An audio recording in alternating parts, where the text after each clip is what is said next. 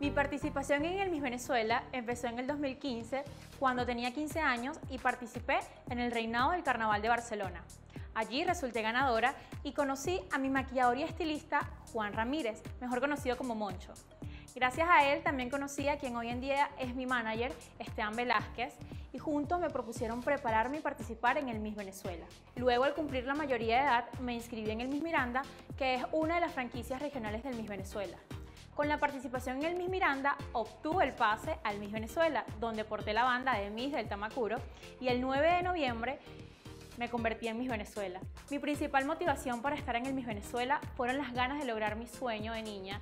Quiero continuar creciendo, madurando y preparándome profesional y personalmente para dejar el nombre de Venezuela en alto.